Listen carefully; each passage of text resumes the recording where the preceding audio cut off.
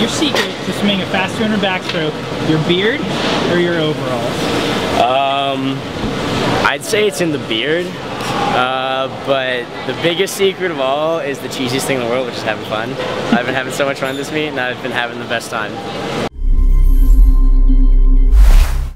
Hopped in.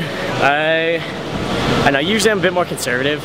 Uh, when I take it out, I I don't know, wait till the third 50 to turn on. And today I just decided I was gonna take it and run with it. And it, that last 25 hurt a lot, but it was it was worth it. And I knew if I was in front, I could hang on. And I was happy to touch the wall and see I slipped under 39, got the A cut, took back that first place spot.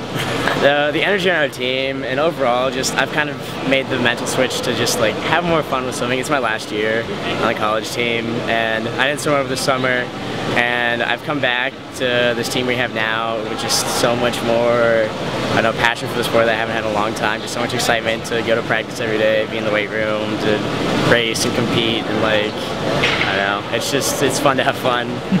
and having fun makes me forget that there's stressful things to worry about behind the blocks.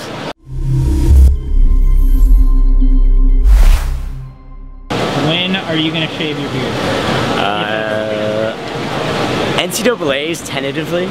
I'm thinking about just putting a couple of beads in it or braiding it and just keeping it just because I like it so much. Um, but I think that will be voted heavily against by all of my coaches and also myself because again, it's my last year, so might as well do everything I can. Because the point, I mean, like, it's there, like, it can, it can get in my, it can, it can get in the way. It definitely waterboards me in practice sometimes.